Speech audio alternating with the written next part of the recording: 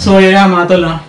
Gagawa tayo ng dresser dito na may dalawang drawer sa baba at saka mirror sa taas.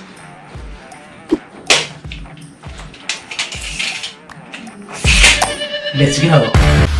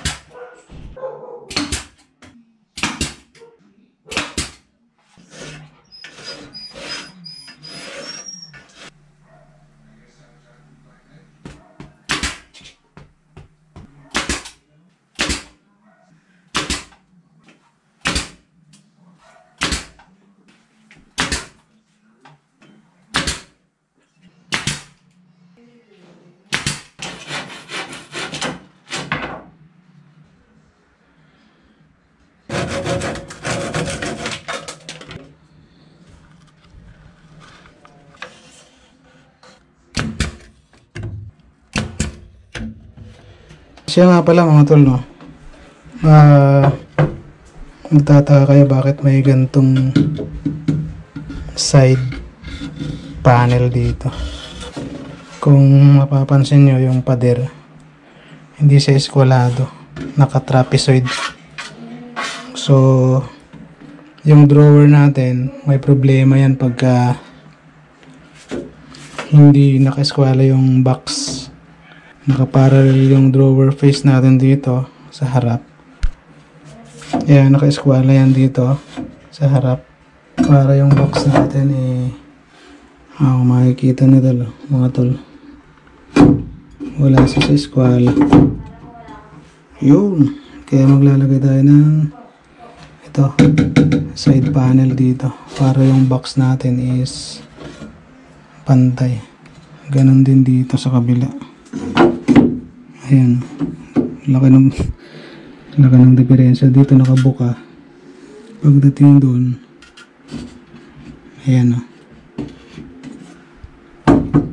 Ayan, nakaawang. So, yung failure natin dito, mas malaki. Baliktad doon sa kabila. Ayan o.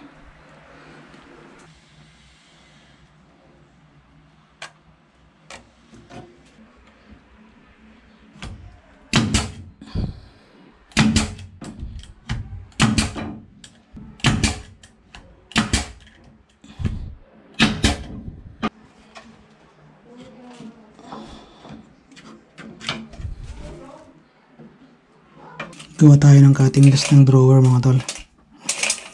Drawer box. So, una, kukunin natin yung opening. Date.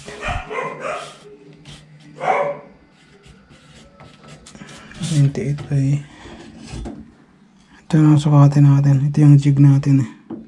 So, pinarehas na lang natin yung dalawang drawer box para isang ano lang, isang cutting list. Importante sa drawer box, skwalado yung ano natin. Yung paglalagyan. Kunin natin yung sukat ng ito yung drawer runner natin. Papansin siya mga may ano dito, may hook yan. I-hook yan doon sa likod ng drawer box. So yung yung dulo ng box natin ah, simula dito 494 so 494 yung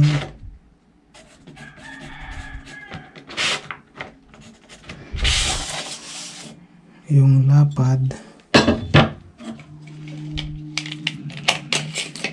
Ito. Jig natin ah. 318 318 kunin natin tong height nito lalas natin. 14 tapos 6 sketch natin para mabilis natin maintindihan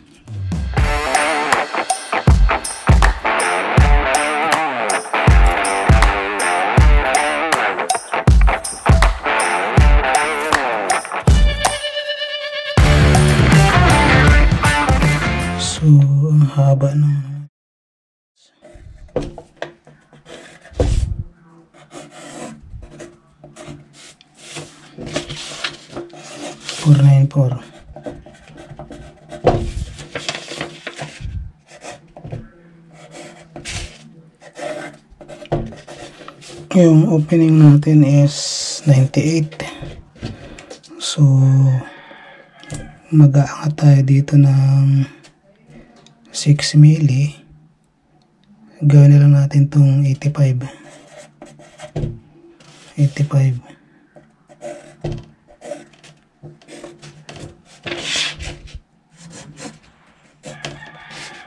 Ito nakarebit ito. Lalagyan natin ng uka tong side natin.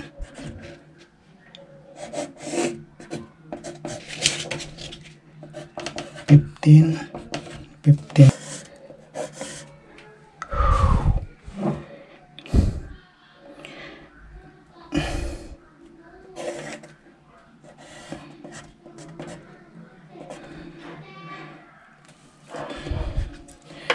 Ito pala to mga tol. Mayroon ditong 40 na clearance. Ito yung dito yung ilalim ng ng 4mm natin yung bottom drawer natin dito siya babangga. Tapos ito dito yung dulo ng side ito so kung susukatin natin to simula dito yan ay ano 14 mm so 14 tayo dito tapos yung bottom natin is 4 mm meron tayong 67 dito. Okay. Yung opening natin is 318 oh, yun sa drawer runner na to kailangan natin ng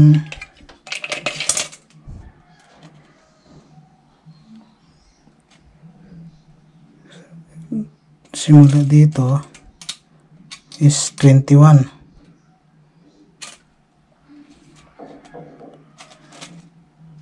21 simula dito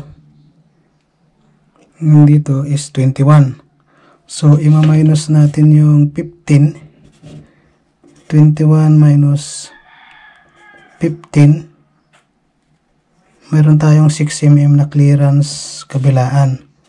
So 318 318 minus 66 12 so meron tayong itong box natin width ng box natin is 3 306 Okay, 306 to. So, 306 minus 30, so 276. Yun. So, cutting list natin.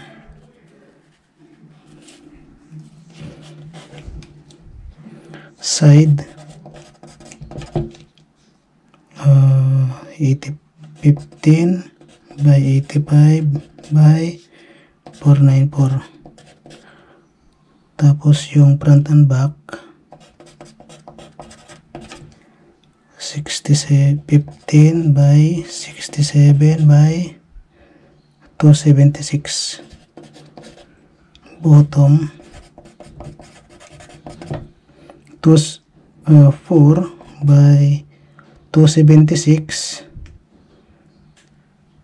276 plus magre-resist tayo dito ng 5 5 so 286 by 494 side 4 kasi dalawang drawer 4 tapos 2 yung drawer face i-actual natin mamaya. So yan, yan yung kakatingin natin. Mga drawer side sa drawer side mga tol lagyan natin ng ripping yung taas lang. Taas lang so dun sa 85 ibawas natin itong 6 mm so 79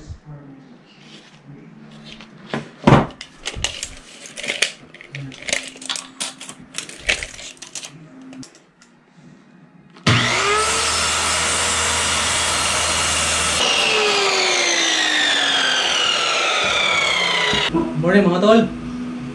Ngayon, bubuhin na natin yung uh, lower box na pinat natin kahapon.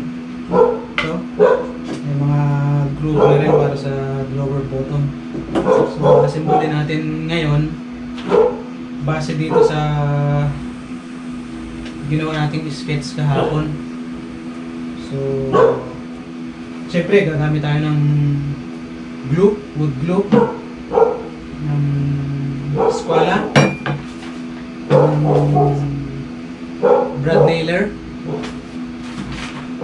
siyempre kasama yung balan niya.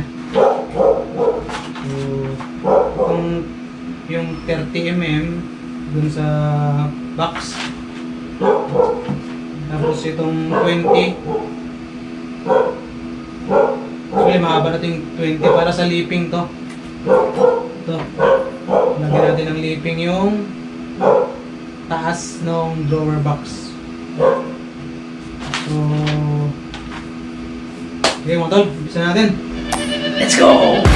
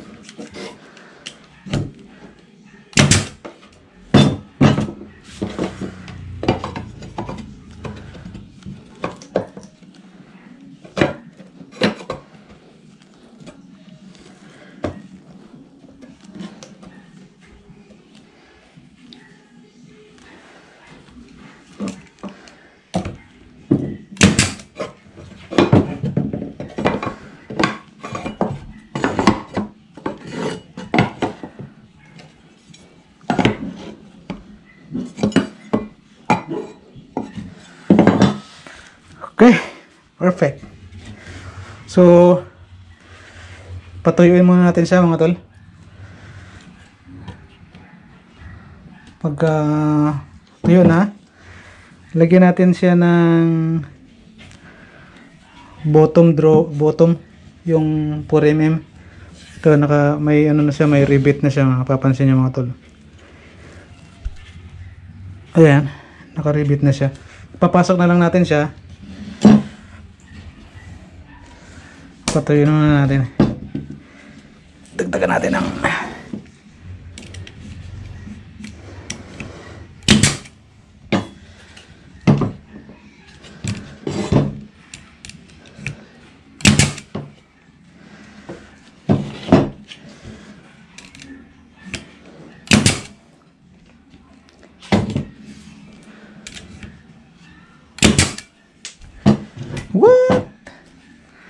Yun, patuloy natin. Tapos, lagyan natin ng leaping. Okay.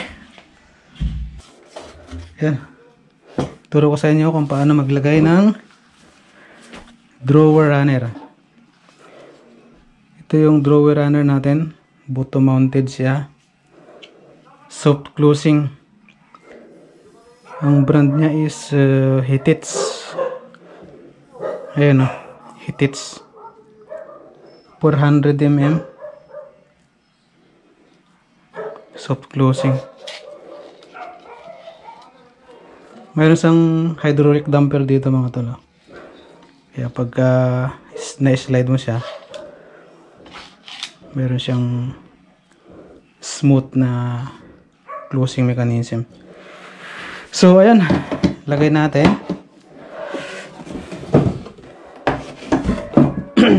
Ito yung right niya. Yung partner niya, siyempre, left. Yun. Tapos mayroon siya ditong ah, lock. Ito yung quick release na lock. Isa sa right, isa sa left.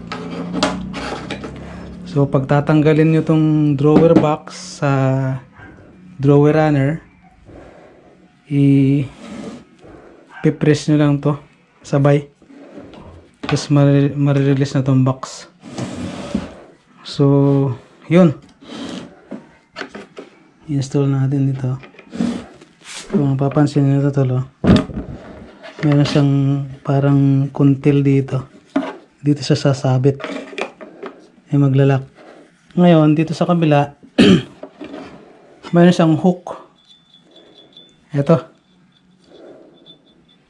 Ito yung i-hook natin dito.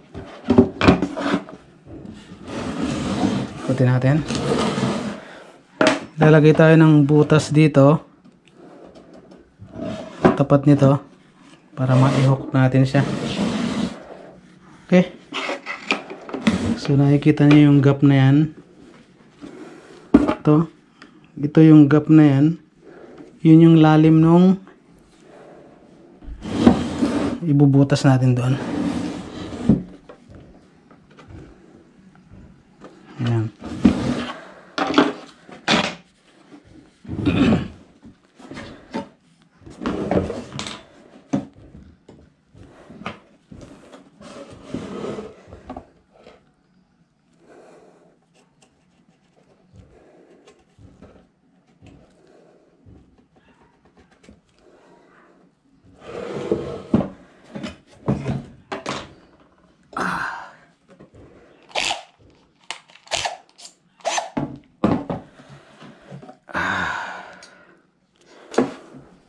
Pwede na siguro to. One fourth. Ayan.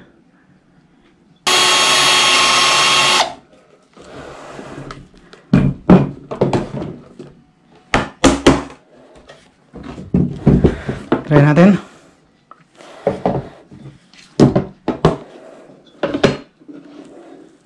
What?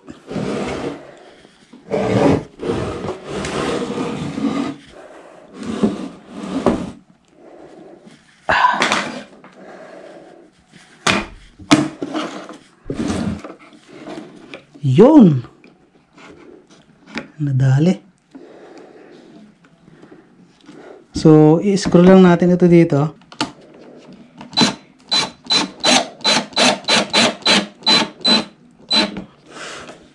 Pag-scroll nito mga tol, pag gumagamit kayo ng power tools, alalay lang kasi pag na pag nasobrahan, basag yan. So, pitik-pitik lang. Yun! So, ang silbi ng hook na yon para hindi matanggal. Ayun o. Kabila naman, same process.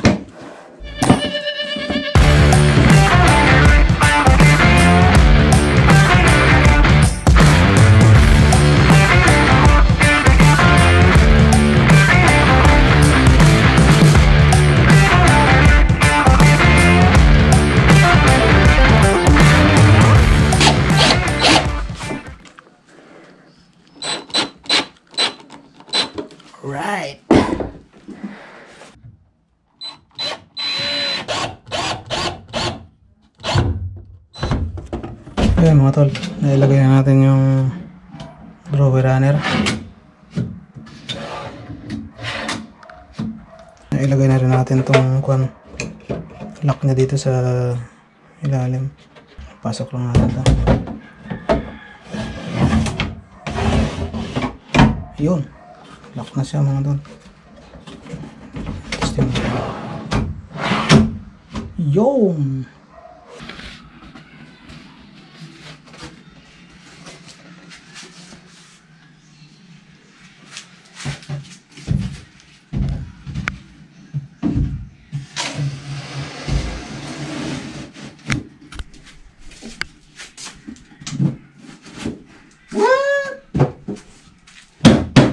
Perfect. So, yun nga mga tol, no? Nailagay na natin yung top. Ngayon, lalagyan natin ng leaping tong top. Ayan. Lalagyan natin siya ng liston. Ayan. Ayan. Lagyan natin ng drawer face. So, naka-flush siya. Naka-flush siya dito sa opening. Tapos mayroon tayong 2 milli na clearance all around. Ayan. Alright. Let's go! So, yun nga mga tol, no? Natapos na natin yung pinaka-dresser mismo. Nalagyan na natin ng dalawang drawer sa baba. So, nag nalagyan na rin natin siya ng leaping. Pati ito, iliping na rin siya.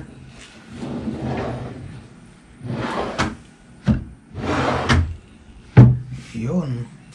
Ngayon naman mga tol, ang isusunod natin gagawin ay yung mirror backing ilalagay natin sa wall. So, ang itong kung nakita nitong border na to, yan yung pinaka border nung nasa likod. So, bali i-offset siya natin. Lalagyan natin siya ng ganito. Ganyan. Tapos dito natin ilalagay yung yung LED. Ayan, nakaganyan siya. Ayan, paikot. Nakaganon. LED natin. Paikot. Apat na sides. Tapos, ang pag-fix natin itong mirror backing sa taas, gagamit tayo ng Z-clip, metal Z-clip. So, nakaganyan siya.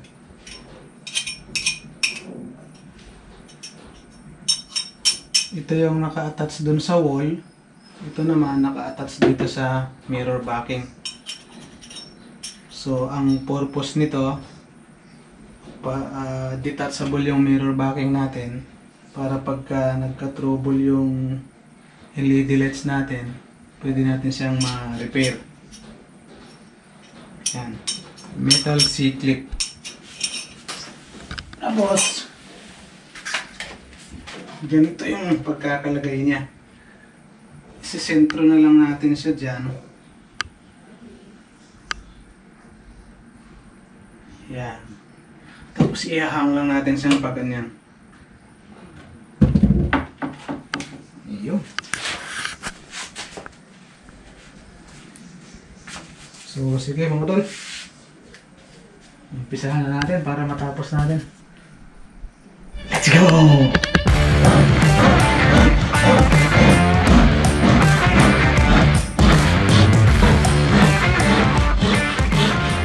So, ayan mga tol. Ito na yung likod ng mirror backing natin. So, ito yung harap. Ito yung harap. Ito yung lalagyan natin ng salamin. Tapos, ito yung likod.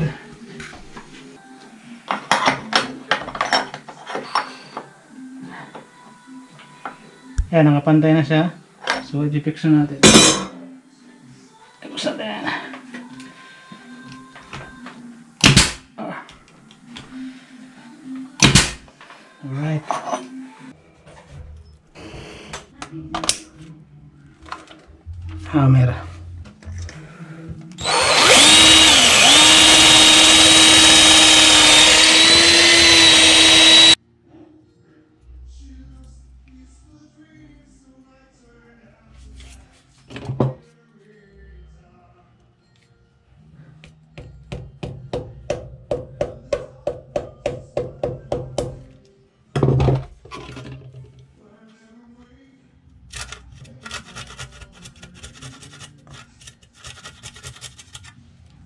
So, yun nga mga tol, no? Nilalagay na natin yung LED strips. Ayan. Eh, secure lang natin siya ng glue gun. It's glue stick. Ang specs pala nito, uh, LED niya is 120 LEDs per meter. AC to 20 volts. Waterproof. IP65 SMD. So, ano lang siya, mga tol. Uh, warm white.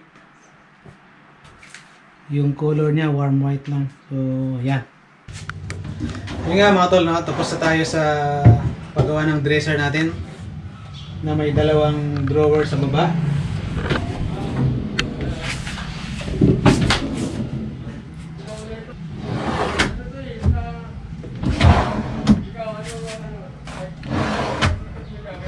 Yun.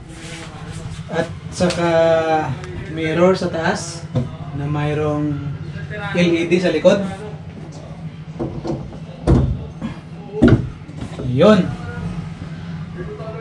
So, bali ang kulang na lang ito mga tol is pintura. Pipinturahan natin yan. So, abangin, abangan nyo yung next vlog ko, yung pagpipintura dito sa dresser natin, pati yung sa sa mirror. So lalagyan din natin ng mirror yan. Kukunin natin yung size base sa opening nito. Kasi mayroon siyang border mga tol kung nakikita niyo yan. Mayroon siyang border so ipapasok natin sa loob yung mirror. So kailangan natin kailangan natin kunan mismo yung opening niya taas yung lapad at saka taas tapos magi-clearance lang tayo ng 2 mili yun na yung size ng mirror natin. So bibili natin yan. Tapos ilalagay natin dyan pagka pintura nito. So abangan nyo yung next vlog ko mga tol yung pagpintura dito. Gagamit tayo ng odorless na paint uh, quick drying in a mill uh, water base. So at saka yung mga mga materials pala nito mga tol, ilalagay ko sa description para may idea kayo. Materials, yung hardware na ginamit ko, yung handle, at saka yung soft closing na na drawer runner. Concealed siya mga tol. Ang kagandahan ng ng bottom mounted na soft close uh, uh, drawer runner, hindi siya nakikita dito, malinis. Unlike dun sa mga side mounted na drawer, na, drawer runners, pag bukas nung nung drawer nyo, makikita nyo yung draw, drawer runner dito, yung full extension na drawer runner side mounted. Which is ang pangit tingnan. Unlike dito sa bottom mounted, wala, wala kang makikita, malinis. So, ayan. So, closing siya mga tol. Yan, pag sinara mo siya, para siyang hinihigop papunta dun sa loob. So, yan, kagandahan na. So, yun, yun lang mga tol. Ah, ah, abangan nyo yung next vlog ko, yung pagpipintura.